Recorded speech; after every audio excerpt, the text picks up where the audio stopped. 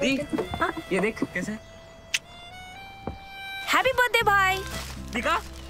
हाँ मेरा favourite colour हमेशा शॉपिंग आई नो माँ। बट खर्चा करने की भी यही उम्र है राइट सेविंग करने की भी यही उम्र है। आई नो पा। सेव करो। सही जगह निवेश करो। रकम पर ब्याज मिलेगा। जिसे फिर से निवेश करने पर ब्याज मिलता रहेगा। I know. ना। आर बी आई कहता है करो सही शुरुआत बनो फाइनेंशियली स्मार्ट